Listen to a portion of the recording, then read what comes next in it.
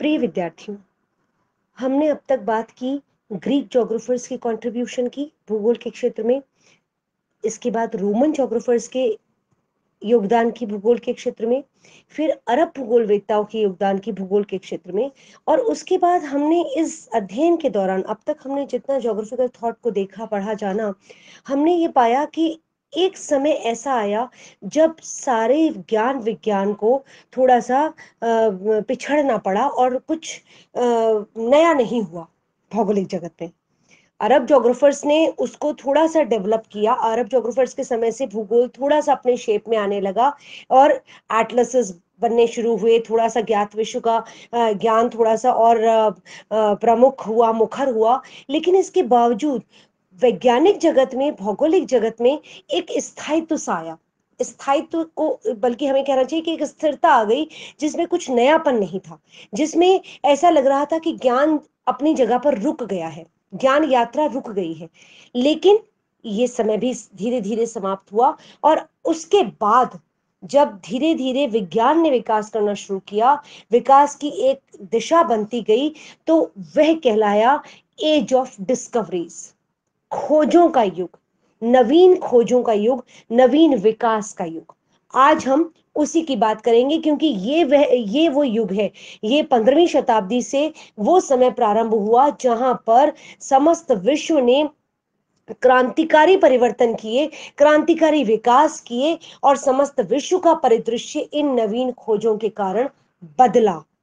क्रांतिकारी रूप से बदला, इसलिए इस समय का अध्ययन किसी भी वैज्ञानिक विषय के लिए बहुत महत्वपूर्ण है। बल्कि ये कहना चाहिए कि हर विषय की पृष्ठभूमि, जो वर्तमान में विषय को जिस स्वरूप में हम पढ़ते हैं, जानते हैं, उसकी पृष्ठभूमि यहीं से तैयार हुई। इसे कहते हैं एज ऑफ़ डिस्कवरीज तो आगे हम भौगोलिक अध्ययन पर जाएँ, या और भूगोल वेता किस किस रूप में भौगोलिक क्षेत्र को या भौगोलिक जगत को आगे ले गए, उस पर बात करें। उससे पहले यह बात करनी ज़रूरी है कि एज ऑफ़ डिस्कवरी में कौन कौन सी डिस्कवरीज कौन कौन सी खोजें ऐसी हुई, जिन्होंने भौगोलिक जगत को भी एक सुदृढ़ पृष्ठभूमि प्रदान की।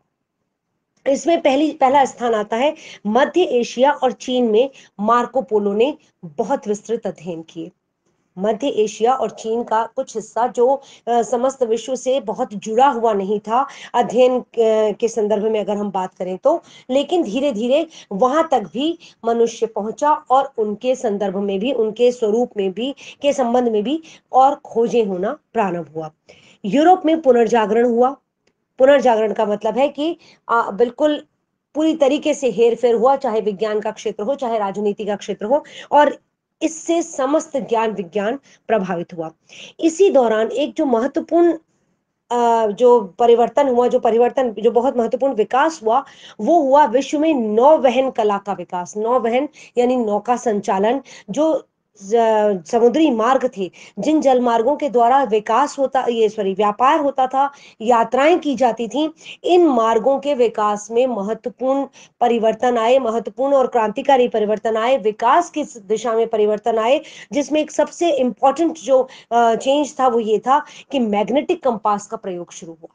चुंबकीय कंपास का प्रयोग शुरू हुआ, दिशा सूचक का प्रयोग शुरू हुआ, जिससे दिशाओं का निर्धारण करके यात्राएँ करना आसान हुआ और समुद्री यात्राएँ ज़्यादा अच्छे तरीके से, ज़्यादा कहना चाहिए कि ज़्यादा सुदृढ़ तरीके से और ज़्यादा उद्देश्यपूर्ण तरीके से की जाने लगी।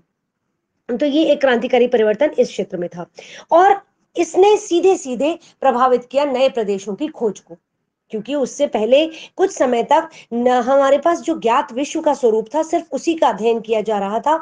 बाहर, उस ज्ञात प्रदेश के बाहर विश्व में कहा क्या है, इसका अध्ययन स्टेबल हो गया था, रुक गया था। लेकिन नौवहन कला के विकास के साथ, मैग्नेटिक कंपास के आविष्कार के साथ नए प्रदेशों की खोज भी होने लगी। यहाँ एक राजनीतिक जो स्वरूप आया, एक राजनीतिक घटना जो वो होने लगी, वो ये हुई कि मुस्लिम और जो कि अरब साम्राज्य पूरा था, उसका धीरे धीरे पतन होने लगा। पतन इसलिए कि उसका विखंडन होने लगा। अब जब ये स्थितियाँ आई, वहाँ पर राजनीति बदली तो यूरोप प्रभावी हो गया। लेकिन ये भी सच है कि यूरोप प्रभावी तो हुआ, पर चर्च उतना प्रभावी नहीं रहा, जो बीच में एक समय में रह गया था। पर अरब के ज्ञान के विकास के बाद, वो वाली जो पारंपरिक अवधारणाएँ थी या जो अवैज्ञानिक अवधारणाएँ थी, वो ऐसा नहीं है कि वो वापस आ गई अरब के, अरब साम्राज्य के विखंडन के बाद। वो पीछे ही रह गई, बल्कि यूरोप में पुनर्जागरण, यूरोप में क्रांति के बाद, ये धीरे धीरे ये यूरोप जो है, वो विश्व में तकनीकी और वैज्ञानिक रूप से एक सुदृढ़ शक्ति के रूप में उभरा, राजनीतिक रूप से भी ये एक शक्ति के रूप में उभरा। अब यूरोप का विकास होने लगा, या यूरोप के ज्ञान विज्ञान के विकास ने समस्त विश्व को प्रकाशित करना शुरू किया, हम ऐसा कह सकते हैं। प्रिंस हेनरी ने केप सेंट विंसेंट विंसेंट के निकट इस समय में फ़र्स्ट इंस्टीट्यूट ऑफ़ ज्योग्राफी, भूगोल के प्रथम संस्थान की स्थापना की, जिसमें इन्होंने सारे विश्व से जितना भी ज्ञात विश्व था, उस, उससे समय समय पर भूगोल वेदताओं को, मानचित्र वेदताओं को, मानचित्र कला के जो ज्ञाता थे कार्टोग्राफर्स जो थे, उनको, खगोल वेदताओं को और गणितज्ञों को अपने उस संस्थान में आमंत्रित किया और भूगोल को इन सारे विज्ञानों का सहारा देते हुए एक सुदृढ़ विषय के रूप में स्थापित करने की की पहली चेष्टा की, एक इंडिपेंडेंट सब्जेक्ट के रूप में स्थापित करने का पहला प्रयास किया। Which is very important in this context as far as geography, the development of geography is concerned. अब चौदह में क्रिस्टोफर कोलंबस नई दुनिया पहुँचा, जिसे हम नई दुनिया कहते हैं, जिसे हम आज अमेरिका कहते हैं। अमेरिका के तट पर चौदह में कोलंबस पहुँचा। भूगोल की दृष्टि से और वैसे तो हर दृष्टि से ये बहुत बड़ा क्रांतिकारी अचीवमेंट था। बहुत बड़ी उपलब्धि थी। एक समस्त नए विश्व की जानकारी विश्व को हुई और पृथ्वी पर जो ज्ञात विश्व की परिधि थी वो एकदम से बढ़ गई। जो उसका स्पेयर था वो एकदम से बढ़ गया। चौदह में वॉस्को डिगामा आशा अंतरीप से होते हुए अटलांटिक से हिंद महासागर और फिर भारत के पश्चिमी तट पर पहुँचा। ये भी अपने आप में बहुत बड़ी उपलब्धि थी। ये दोनों जो उपलब्धियाँ हैं, कोलंबस की और वॉस्को डिगामा की, इसने समस्त विश्व के परिदृश्य को बदल दिया। ज्ञात विश्व का परिदृश्य बदला मूवमेंट्स बदली, के एक प्रदेश से दूसरे दिशा की, प्रदेश की ओर यात्राओं का स्वरूप बदला, व्यापार और वाणिज्य का स्वरूप बदला बदला, राजनीतिक और प्रशासनिक व्यवस्थाएँ बदली और उपनिवेशिक स्थितियाँ यहाँ पर आई। और इसके साथ ही जो समस्त भौतिक और सांस्कृतिक भूगोल का जो स्वरूप था वो अपने आप में एक नया स्वरूप लेकर उभरा। इसके बाद सत्रह जो रिमार्केबल जो डेवलपमेंट हुई मैं आपको वो बता रही हूँ जिससे हमें ये पता लगे कि कौन कौन से माइलस्टोन रहे इस डेवलपमेंट में कौन कौन सी प्रमुख घटनाएँ रही भूगोल के इस, समय में विकास में। सत्रह से सत्रह के बीच इन वर्षों में कैप्टन कुक ने हिंद महासागर और प्रशांत महासागर में अनेक यात्राएँ की और टॉलिमी के, टॉलिमी ने जिसको टेरा इनकॉग्नेटा कहा था, जिसको, जो कि उनके हिसाब से अज्ञात भूमि थी, उसको खोजना चाहा। टॉलिमी जब हमने बात की थी, जब हमने पढ़ा था तो आप लोगों को अगर याद हो, टॉलिमी ने एक शब्द का प्रयोग किया था, टेरा इनकॉग्नेटा। टेरा इनकॉग्निटा उन्होंने अज्ञात विश्व के लिए कहा था। अर्थात टॉलमी का ये कहना था कि जितना विश्व हमारी जानकारी में है, उसके परे भी प्रदेश हैं। लेकिन हमारी जो लिमिट्स हैं, हमारी जो लिमिटेशंस हैं, वो ये है कि हम उन प्रदेशों के बारे में जानकारी नहीं है, वो अज्ञात विश्व है, जिसको उन्होंने टेरा इनकॉग्नेटा कहा। अब कैप्टन कुक ने जब यात्राएँ शुरू की तो उन्होंने टॉलमी के टेरा इनकॉग्नेटा को ध्यान में रखा और ये जानने की कोशिश की कि वो कौन से प्रदेश हैं जिनका, जिनकी ओर टॉलेमी ने संकेत किया था? उन प्रदेशों तक पहुँचने का प्रयास किया। इस प्रयास में इन्होंने हिंद महासागर की यात्राएँ की, प्रशांत महासागर की यात्राएँ की, बहुत सारे द्वीप खोजे और ये ऑस्ट्रेलिया तक पहुँचे, जो हमारा एक प्रमुख महाद्वीप है, ऑस्ट्रेलिया की इन्होंने खोज की। एक और, पंद्रहवीं शताब्दी में अमेरिका की खोज हुई, उसके बाद भारत तक, यूरोप से भारत तक का समुद्री मार्ग खोजा गया और उसके बाद पूर्व में ऑस्ट्रेलिया तक कैप्टन को पहुँचे तो ये ज्ञात विश्व का दायरा बढ़ता चला गया। और हमने ये जाना कि भूगोल जो है, जो जिसको कि हम अगर बिल्कुल लिटरल टर्म्स में कहें जियो प्लस ग्राफी पृथ्वी का वर्णन, वो उसका दायरा बढ़ गया है। उसका स्पेयर बहुत बढ़ गया है। हमारे पास कई नए प्रदेश हैं जो बहुत नई विशेषताओं से युक्त हैं। कई नई संभावनाएँ हैं उनमें जो कि मानव जाति के विकास में योगदान दे सकती हैं। तो इन प्रदेशों तक मनुष्य पहुँचा, जिसने समस्त भौगोलिक परिदृश्य को परिवर्तित कर दिया। अब ये सारे विद्वान, ये सच है कि उस समय तक ये सारे विद्वान मोटे तौर पर, चाहे हम कोलंबस की बात करें, चाहे हम मॉस्को डिगामा की बात करें, चाहे हम प्रिंस हैनरी की बात करें, चाहे हम कैप्टन कुक की बात करें, ये सारे विद्वान कमोबेश मोटे तौर पर टॉलेमी द्वारा प्रस्तुत जो अक्षांश थे, जो अक्षांशों का स्वरूप था, जो पृथ्वी की परिधि की गणना थी, उससे सहमत थे। कुछ नए तथ्य उभरे? नए तथ्य उभरे कौन से? जब नए प्रदेशों का ज्ञान हुआ तो ये ज़रूर है कि पृथ्वी संबंधी ज्ञान बदले ज्ञात विश्व की सीमाओं का विस्तार हुआ।